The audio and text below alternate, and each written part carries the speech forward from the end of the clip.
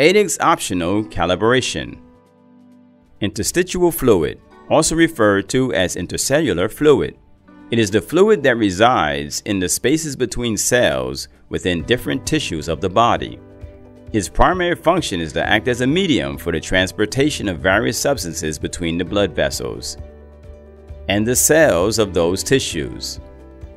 In simpler terms, it acts as a bridge between the bloodstream and individual cells, facilitating the transport of oxygen, nutrients, salts, hormones, water, and other substances.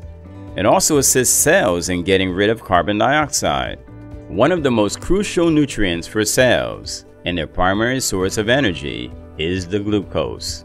Therefore, glucose is constantly present in the interstitial fluid at levels parallel to those in the blood.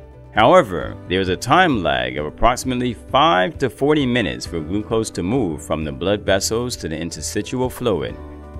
In practical terms, if we were to test blood sugar now in a blood sample, and it yielding a result of 140 mg by dl, a continuous glucose monitoring CGM device should ideally display a reading of 140 mg by dl within a maximum of 40 minutes. This is because CGM devices measure glucose levels in interstitial fluid, not indirect in the blood sample.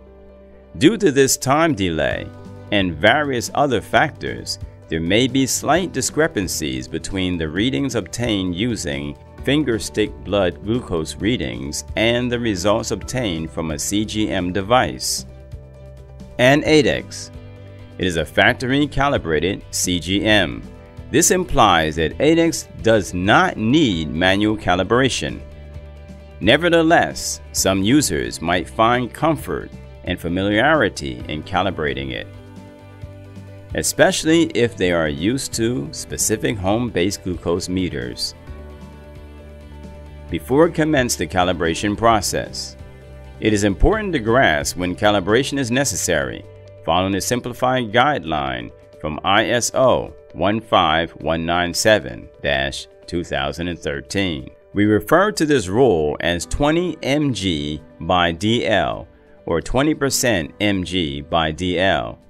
If the reading from the glucose meter is less than 80, then the allowable range is plus or minus 20 milligrams per deciliter from that reading. So for example, if the glucose meter reading is 70 mg by dl, which is a value less than 80, then the CGM device reading should fall between 50 and 90 mg by dl. There is no need for calibration.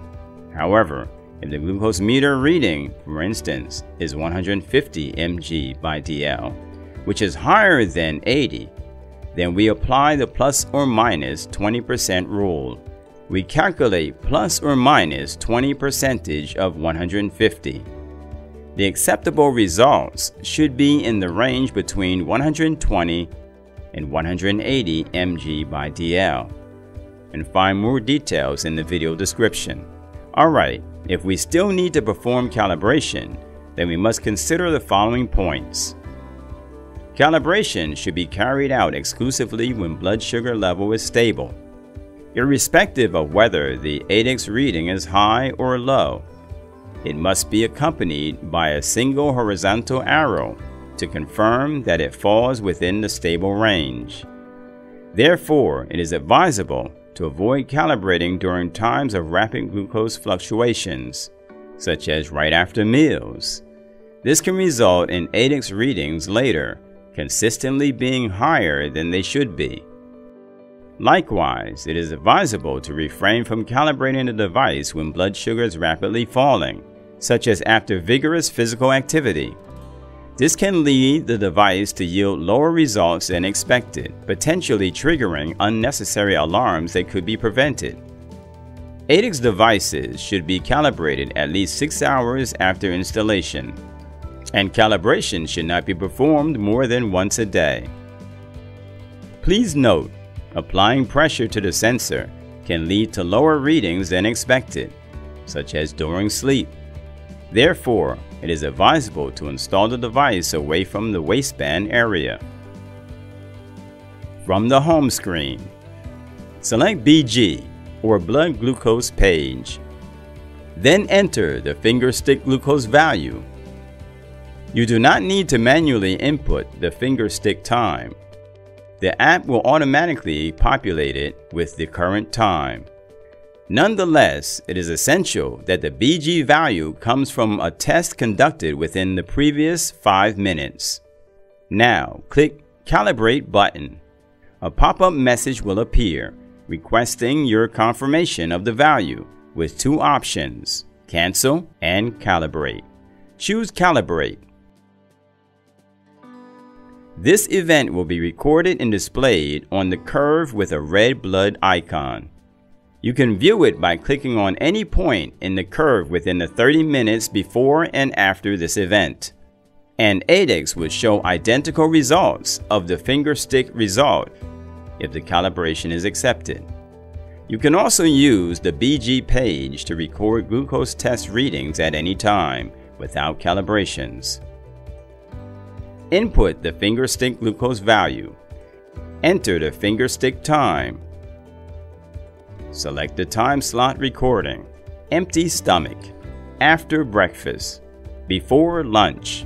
After lunch. Before dinner. After dinner. Before bedtime. Nighttime. Or random. Click Record.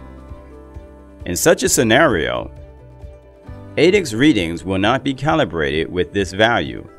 However, we will have a record of BG readings displayed on the AiDEX trend. This video serves to provide insights into the functionality of the AiDEX continuous glucose monitoring system. It is essential not to disregard any signs or symptoms associated with high or low glucose levels. In the event that your glucose alerts and sensor glucose readings do not align with your expected symptoms, it is strongly recommended to verify your glucose levels using a standard blood glucose meter. Consult with your healthcare provider for guidance on diabetes management and treatment. Diabetes Cloud. Live with freedom.